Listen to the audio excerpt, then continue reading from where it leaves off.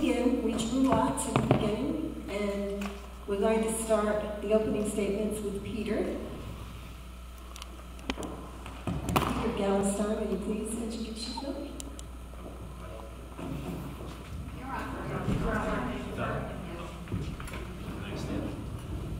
Good evening. I'm Peter Gallerstein, and I have two minutes to uh, explain the universe and give two examples. Good evening. I'm Peter Gallerstein, and I two minutes to uh, explain the universe and uh, give two examples. I grew up uh, in the Bronx and attended the public school system there, and subsequently received my BA and MD degree from Johns Hopkins University. I've lived in Morristown since 1984, and my three sons are all graduates of Morristown High School. I've been a board member now for close to 18 years, and why do I do this? I do it because I think the school system very heart of our community. So what is the role of a, a school board member? There are basically three things that we must do. First, we have to make sure that we have a good superintendent, a good CEO, a good leader. And I stand behind all that Mackey Pendergrast has accomplished. I've been involved with the hiring of Mackey from the first interview to the last, and I, his accomplishments I feel are shared by the board as a whole. Second, we have to make sure that we have a staff of the highest order, teachers, administrators, maintenance people, bus drivers, everyone who comes in contact with our students. I've been an integral member of the negotiating team over the last 18 years, we have now completed a four-year contract with the union under excellent terms, and I am told that I am allowed to say that I was the one who first suggested it being four years. Thirdly, we have to make sure that we are fiscally responsible. We operate well under the 2% cap as mandated by the state, and we are one of the few districts in the, in the area free of any long-term debt. What do I believe we shouldn't do? We shouldn't micromanage. We shouldn't get in the way. I have no business telling teachers what to teach or how to teach. I have no business telling our superintendent how to manage this district on a day-to-day -day basis. We pay millions of dollars in salaries to people who do that, and I can't even think that I can do as good a job as they. One other point. I've been on the board now for a number of years.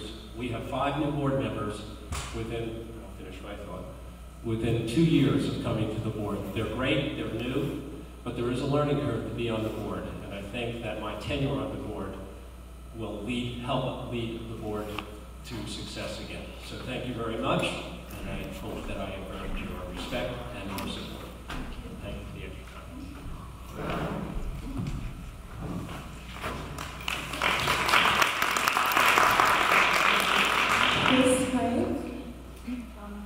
Thank you. Uh, I'm Chris Crean. Uh, I just want to say thank you to the League of Women Voters and the team for allowing us this opportunity to speak to the town tonight.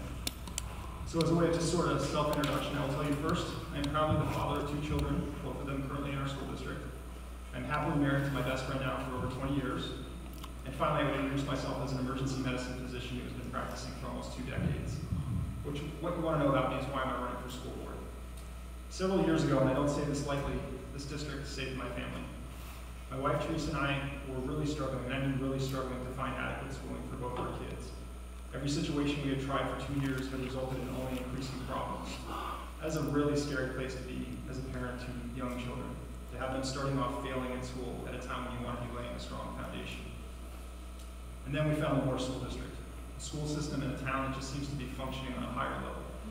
The teachers we met first, like Ms. Ferreira, Ms. Darcy, they took our kids in with open arms, listened to our concerns, and immediately set to addressing them. And now, many years later, I can tell you we are just so both very pleased with the results. I'm running for school board because I want to make sure this gem of the school district continues doing its great work and hopefully even reaches new heights. Like all organizations, if our school's leadership is not strong, eventually things could come crashing down. And I have concerns because at least until the past few years, we as a town have barely noticed that seats on the board were not being contested, and on one occasion not even run for. As a former academic and scientist, I have a deep understanding of data and data interpretation and how to best apply it. As a board member, I would use that knowledge every time an important issue needs to be solved. And as a parent of an honor student and as a parent of a child with autism, I understand how important it is for our schools to be able to adapt to each individual student's needs. As a board member, I will work to ensure that every child in our school is given the opportunity to be successful.